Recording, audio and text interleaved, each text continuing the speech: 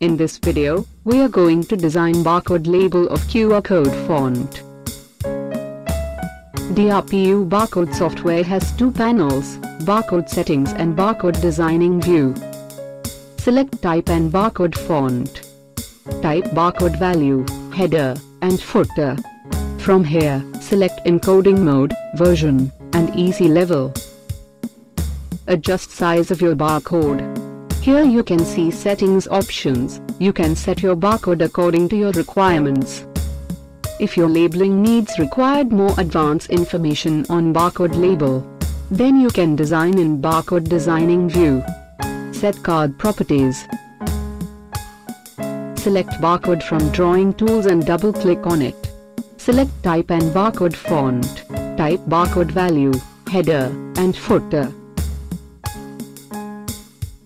Now you can adjust size, color, and font of your barcode label. Select text and type. Set font of your text.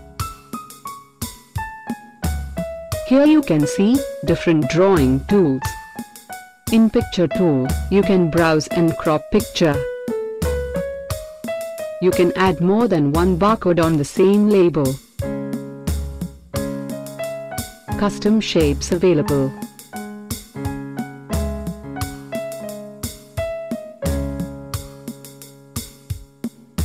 From here you can add different library images.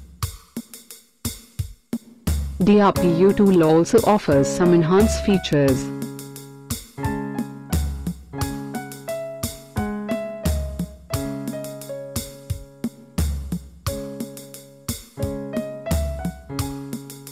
You can generate list of barcode using batch processing series.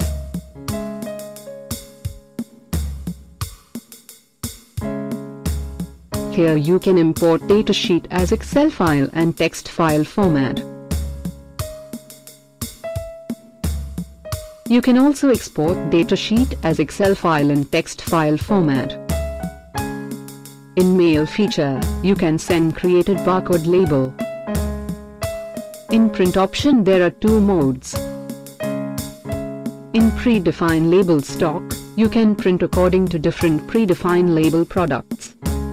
Here, thousands of product model available for each label brand.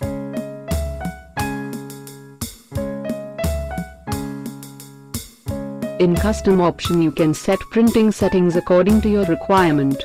If you want to print manually, set printing settings. Click on print button. Here barcode labels are printing. If you want to print by using laser printer, select your printer. Set printing settings according to your label sheet. Click on print button. Here barcode labels are printing and ready to use. Thanks for visiting.